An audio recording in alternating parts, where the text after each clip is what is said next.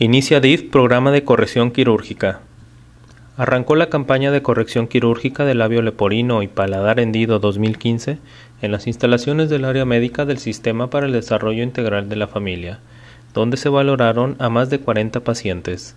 Rafael Ruiz Rodríguez, cirujano maxilofacial que pertenece a la Fundación Renacer AC, se hizo acompañar por un grupo de cinco médicos especialistas de la Ciudad de México, quienes se encargaron de realizar las evaluaciones a las personas previamente registradas.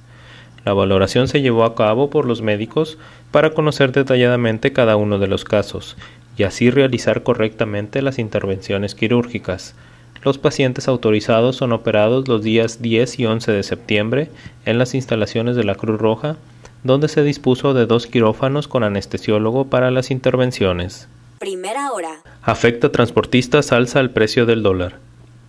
El alza al dólar podría tener un impacto negativo en el transporte de carga debido a la compra de refacciones que han incrementado, por lo que transportistas prevén un incremento en sus servicios.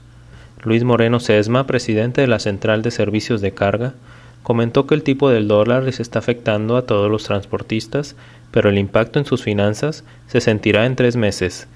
Moreno Sesma mencionó también que el alza al dólar ha provocado una disminución en las importaciones, provocando que tengan que salir los camiones vacíos al interior del país a recoger mercancía. Confió en que pronto la paridad peso-dólar se mejore para no registrar pérdidas en el sector transportista. Esto ha sido todo por hoy.